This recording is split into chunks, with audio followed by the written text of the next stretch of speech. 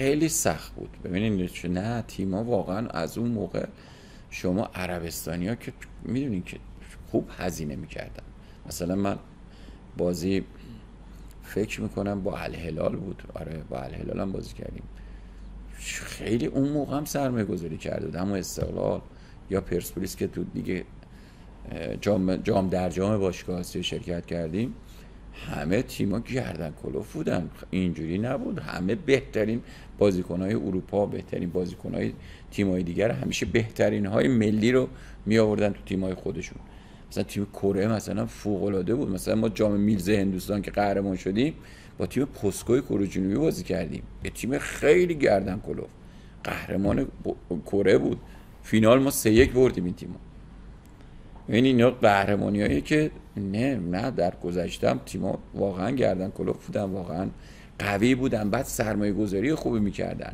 اون موقع برای ما سخت در بود. امکانات نداشتیم چیزی نداشتیم. با همین وضعیت می‌رفتیم می‌بینیم اینا رو می‌بریم. یعنی توانایی بازیکنهای ایرانی همین الانش هم هست. شما می‌بینید استعدادی که تو ایران هست تو هیچ کجا تو هیچ جای آسیا نیست. و این توانایی هست به شرط اینکه ما بتونیم سیر ساختمون رو درست کنیم شرایط بهتری ایجاد کنیم برای فوتبالیستامون تولید کنیم.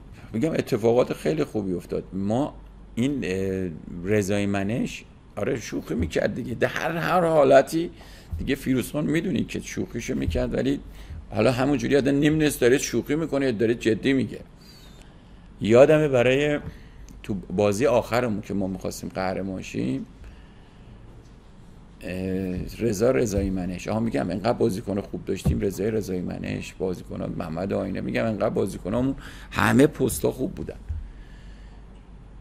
بعد نادر باقری خدا رحمتش کنه اینا هم همه تو پاس بودن. یه بازی ما بازی آخرمون بود. یعنی یه, یه بازی مونده به آخر ما میبردیم قهرمان بودیم. میبردیم قهرمان یعنی بازی آخر هم دیگه تشریفاتی می‌شد. با پاسا. تو تبریز با تراکتور بازی داشتیم. کریم باقری دفاع وسط تیم بود 19 سالش بود 18 سالش بود تو اون ما یادم یه درگیری پیش اومد درگیری پیش اومد.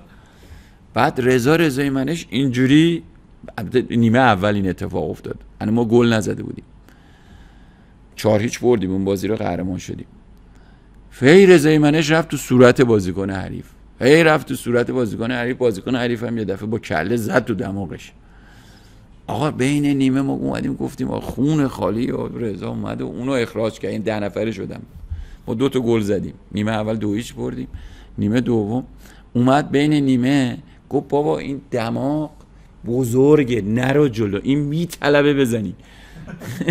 نده جلو اینو. من یادم اینو خود رضا خون خالی بود مرده بود از خنده. نه گفت دادم جلو بزنه که یاد بشیم عملش کنم. آره خاطره خوب همون سال همون میگم همون بازی هم ما چاری چون بازی رو بردیم. پاس قهرمان شد. یعنی بازی آخرمون دیگه تشریفاتی شد. یه, یه خاطره جالب یادمه. ما بازی با برق شیراز داشتیم. ما چهار هیچ جلو بودیم. بازی آخرای بازی. من فیکس بازی می‌کردم. یادمه آره برق شیراز بود یا تیم دی بوده نمی‌دونم و چهار هیچ جلو بودیم.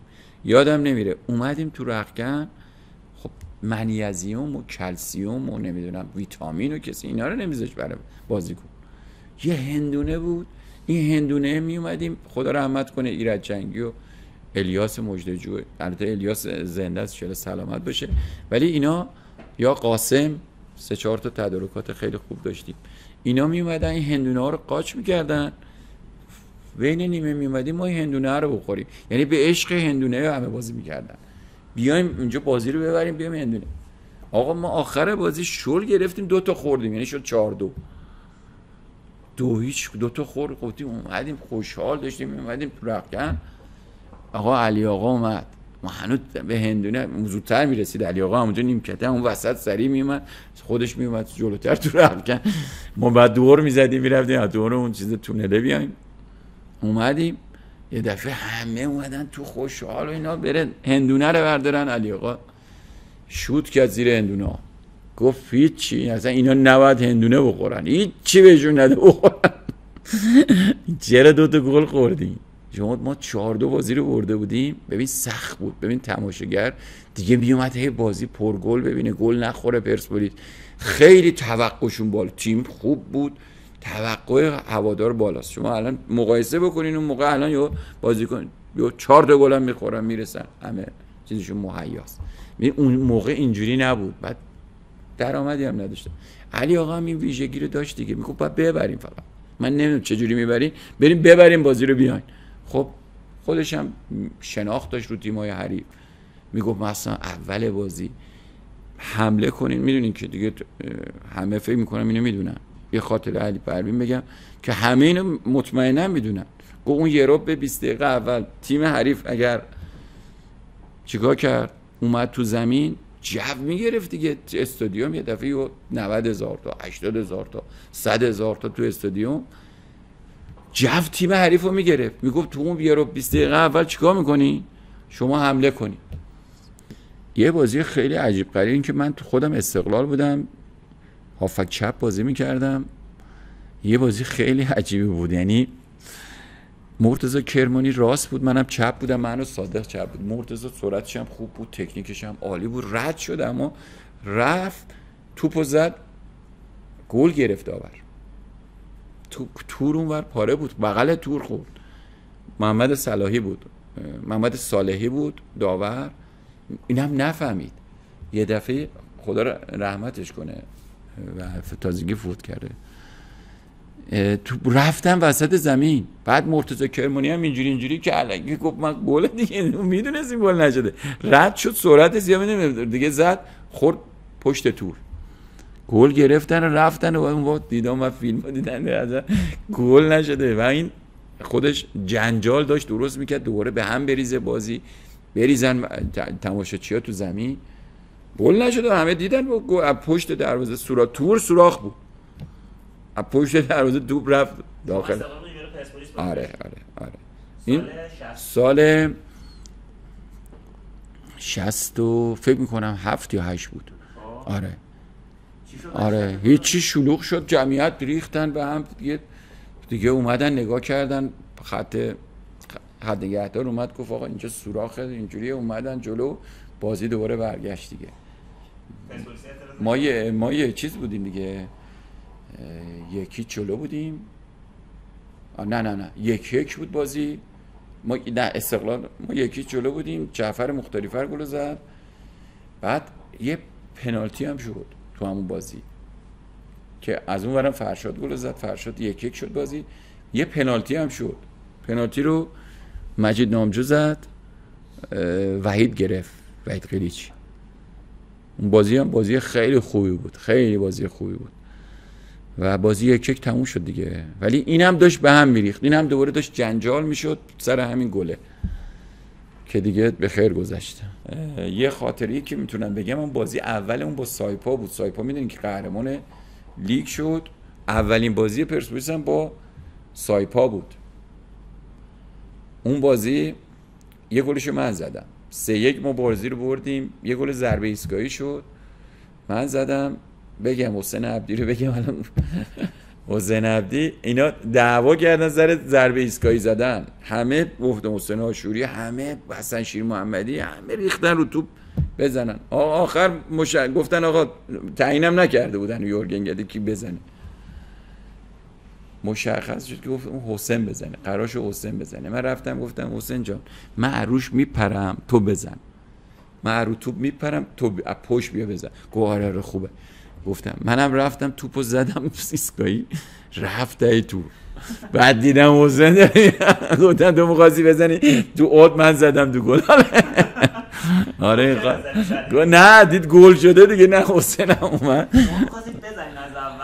نه آخه نمیذاشتم من بزنم که. این 5 6 تا ریخته بودن رو توپ نمیذاشتن که تو مشخص گفتن آقا حسین بزنه. دیگه با هم بین خودمون گفتیم آقا حسین عبدی بود. دیگه گفتم بذار اینا دعواشونو بکنم منم رفتم ضربه ایستگاهی رو زدم رفت و گل دوبه ما سه یک بردیم یه گلشو من زدم.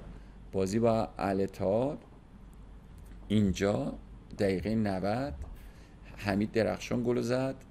دقیقه 90 یکیچ ما بردیم. بازی برگشتمون اونجا با حالا دو تا بازی بازی با بنیاس و یه تیم عمانی بود. اونا رو هم برده بودیم. اومده بودیم رسیده بودیم خورده بودیم به کی؟ به نیمه نهایی به اتحاد عربستان. منم سر حال بودم که تمرین می‌کردیم. میگه میگم هر کی خوب بود علی آقا هم میذاشتش تو اون بازی یادمه که خدا رحمت کنه من و فریبرز مرادی هم اتاقی بودیم.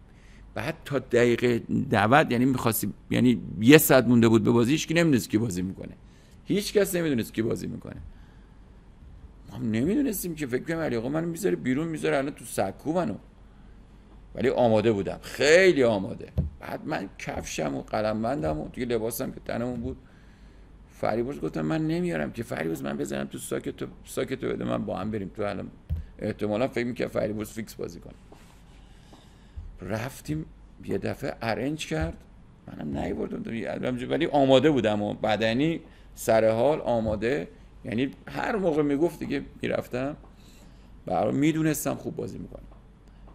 یه دفعه ارنج کرد. آقا من گذاشت هافک چپ. هافک چپ. دیگه اول ارنج کرد گفت آقا اینا برن تو زمین. دیدی که ارنج میگه آقا اینا برن تو زمین بازی رو باید ببریم دیگه. چون یا مساوی باید می‌کردیم یا باید میبردیم دیگه. دیگه اونجا هم می‌دونیم که بازی تو ایران برده بودیم اونجا می‌گفت باید نبازیم دیگه. یعنی جلوی این تیم یه جوری بازی کنیم که گل نخوریم. یه بازیکن داشتن آمریکایی به نام هوگو پرس. همینه میگم. یه بازیکنای خیلی عالی میومدن خیلی تیمشون خوب بود. یه دفاع راست داشتن برزیلی هم سمت من بازی می‌کرد. من و سعید نعیم آبادی مشتاق محرمی محروم بود نمی‌تونست بازی کنه. سعید بازی کرد تو دفاع چپ. منم هافک چپ جلوی این برزیلی. سرعتش خیلی زیاد بود. هافک وسط هم که یه بازیکن داشتن هوگو پرس یه خط حمله هم یه فوروارد دیگه داشتن. خیلی خوب بودن. اینا سه تا خارجی هاشون بودن. آقا ما بازی کردیم. همه شروع شد 20 دقیقه اول. اصلا یه جوی تو اصلا جده فضایی برای ایجاد می‌کنن. عرب عربا. خیلی بد خیلی بد. گوشه. بعد می‌دادن. هم تماشاچیاشون توپو می‌خواستی برده تو خط چون با می‌زدن می‌رفتن فینال دیگه. بازی رو باید میبردن می‌رفتن. بعد شروع شد 20 دقیقه اول شاید نیم ساعت اول. ما 6 تا گل باید میخوردیم. خیلی تیمشون خوب بود. می اومدن می‌رفتن احسان می‌کنن یکی چه افتادن جلو. گلرم نادر باقری به خدا بیامرزه یکیش افتادن جلو باز بازی دست اینا بود. همه بازی دست اینا. خیلی خوب. میگم یه جوری هم بازی می‌کردن کثیف هم بازی می‌کردن. فوش می‌دادن دریوری می‌گفتن در کاری می‌کردن بازی رو. مخصوصا تو زمین خودشون بود دیگه همه کاری می‌کردن. داور همه. دیده بود. آقا دقیقه چل شد. پنجی توپو گرفت. محمد پنجلی. توپو گرفت. من اومدم داخل وسط زمین. توپو سر نیمه گرفتم. بردم توپو جلو. از چل متری زدم توپم. رفت هی تور.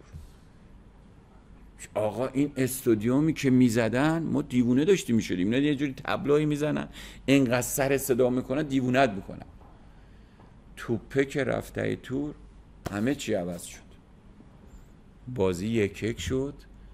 بازی افتاد دست ما دیگه.